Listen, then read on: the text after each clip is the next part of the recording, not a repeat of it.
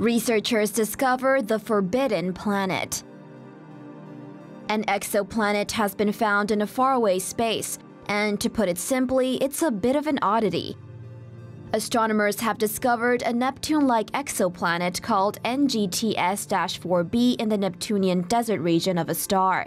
This refers to the area close to stars where no planet similar to Neptune's scale can be found. CNN reports this is the first time this type of exoplanet has been found in a star's Neptunian desert region. Stars send out strong radiation to this area. This causes planets to lose their gaseous atmosphere. They usually evaporate, leaving behind a rocky core. According to new research in the monthly notices of the Royal Astronomical Society, NGTS-4b was spotted using a ground telescope called Next Generation Transit Survey.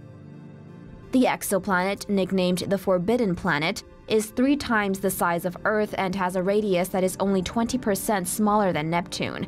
The exoplanet has temperatures of up to 1000 degrees Celsius. Space.com reports the new exoplanet orbits a star named NGTS-4, which is around 920 light-years away from Earth. According to a University of Warwick press release, the exoplanet completes orbits of the star every 1.3 days. Astronomers believe the exoplanet could have moved into the Neptunian desert region at some point in the past 1 million years.